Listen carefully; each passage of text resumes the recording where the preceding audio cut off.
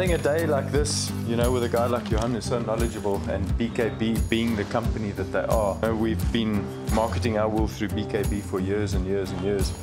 And to actually see the effort that these guys put in makes you feel like your product's in, in, in good hands, first of all. Secondly, you can come and touch it, you can feel it, you can see exactly what it is. And I think a day like this is, is invaluable to a farmer. I think more people should do it.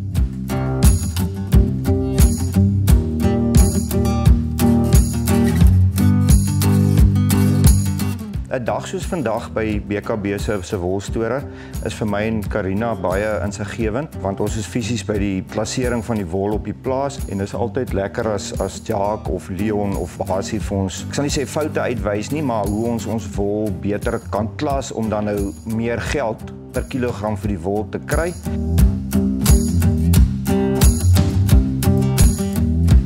Yeah, it's vitally important for our clients to come down to the BKB wool store and experience the whole process of what happens to their wool after offloading, as there is so much more than just offloading your wool at BKB. We invite all our clients to come down on a Tuesday, especially if they've got wool on auction, to come and spend some time in the display boxes, as that's the direct reflection of the wool that's, that the buyer gets to see and, and that he's buying on. You know, we always try and add value to our clients and that's what we really enjoy about our clients as well is they, they take the time and effort to come down. We love having our producers here. You know, like I said, it, it becomes more of a personal relationship than a client relationship.